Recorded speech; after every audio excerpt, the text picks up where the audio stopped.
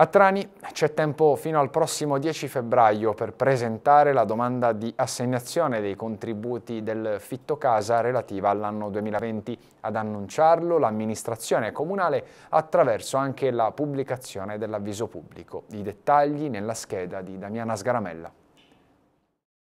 È stato pubblicato dal Comune di Trani il bando 2021 per l'assegnazione dei contributi e l'integrazione dei canoni di locazione per le abitazioni relativo all'anno precedente. Alla procedura di assegnazione possono partecipare anche i percettori di reddito di cittadinanza. In seguito all'erogazione dei contributi, il Comune comunicherà obbligatoriamente all'INPS i beneficiari ai fini della compensazione sul reddito di cittadinanza per la quota destinata all'affitto. Le domande potranno essere essere presentate entro le ore 12 di giovedì 10 febbraio 2022.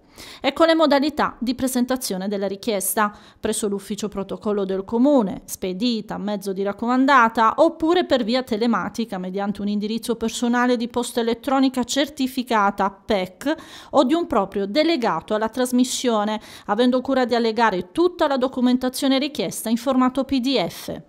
Il Comune si riserva la facoltà di effettuare tutti gli accertamenti atti a verificare la veridicità e la correttezza delle informazioni comunicate e di richiedere in qualunque momento la documentazione integrativa relativa ai requisiti e alle condizioni dichiarate.